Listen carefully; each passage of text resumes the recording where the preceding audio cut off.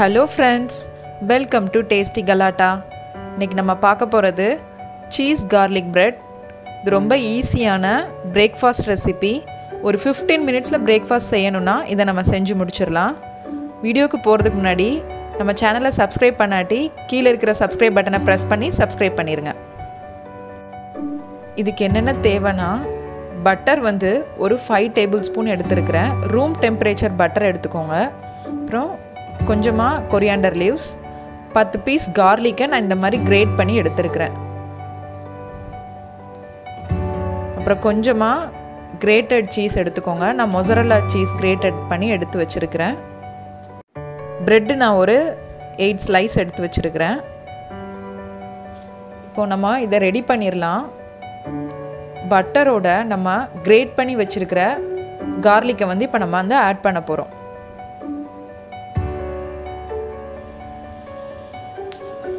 இப்போ நம்ம குட்டியாக கட் பண்ணி வச்சுருக்கிற கொரியாண்டர் லீவ்ஸையும் வந்து இதில் ஆட் பண்ணிடலாம் நான் வந்து ஃபுல்லாக ஆட் பண்ணல கொஞ்சமாக ஆட் பண்ணியிருக்கேன் உங்களுக்கு எவ்வளோக்குள்ளே தேவையோ அதை நீங்கள் வந்து ஆட் பண்ணிக்கலாம். இப்போது நான் மிக்ஸ்டு ஹர்ப்ஸ் வந்து என்கிட்ட ரெடிமேடாக வாங்கி வச்சுருக்கிறது இருக்குது ஸோ அதை நான் ஆட் பண்ணிக்கிறேன். அது இல்லைன்னா நீங்கள் சில்லி ஃப்ளேக்ஸ் கூட நீங்கள் கிரைண்ட் பண்ணி இதில் ஆட் பண்ணிக்கலாம்.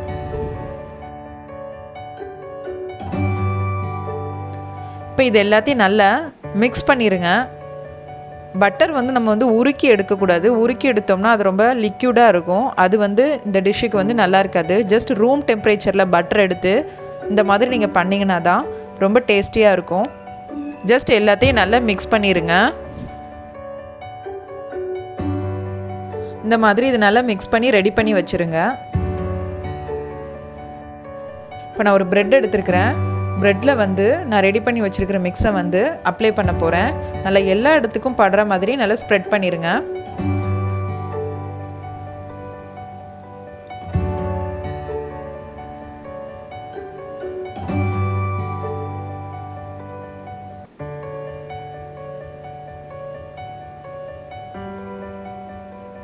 அகெயின் நான் இன்னொரு ப்ரெட் எடுத்துகிட்டு அதில் வந்து நான் சீஸ் வந்து ஃபில் பண்ண போகிறேன் ஸோ கிரேட் பண்ணி வச்சுருக்கிற சீஸை வந்து நீங்கள் ஃபுல்லாக நல்லா ஃபில் பண்ணிடுங்க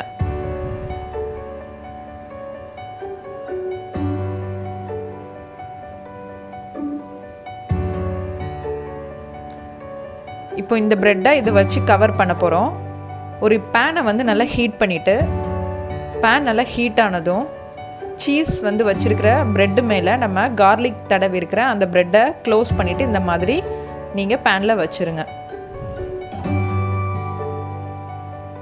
இப்போது நம்ம இன்னொரு சைடில் வந்து நம்ம ரெடி பண்ணி வச்சுருக்க மிக்ஸை வந்து அப்ளை பண்ணிடுங்க இதுவும் சேம் தான். அதே மாதிரி எல்லா பிளேஸ்க்கும் படுற மாதிரி ஸ்ப்ரெட் பண்ணி விட்டுருங்க. சப்போஸ் உங்களுக்கு சீஸ் வேணாம் அப்படின்னா நீங்கள் டபுள் சைடும் ரெடி பண்ணி வச்சுருக்க மிக்ஸை மட்டும் அப்ளை பண்ணிவிட்டு ஃப்ளிப் பண்ணி ஃப்ரை பண்ணி எடுத்துக்கோங்க. நான் இங்கே சீஸ் யூஸ் பண்ணுறதுனால சென்டரில் சீஸ் வச்சுட்டு டபுள் சைட்லேயும் நான் ரெடி பண்ணி வச்சுருக்கிற மிக்ஸை வந்து அப்ளை பண்ணுறேன் இந்த மாதிரி இன்னொரு சைடில் அப்ளை பண்ணதுக்கப்புறம் ஃப்ளிப் பண்ணிடுங்க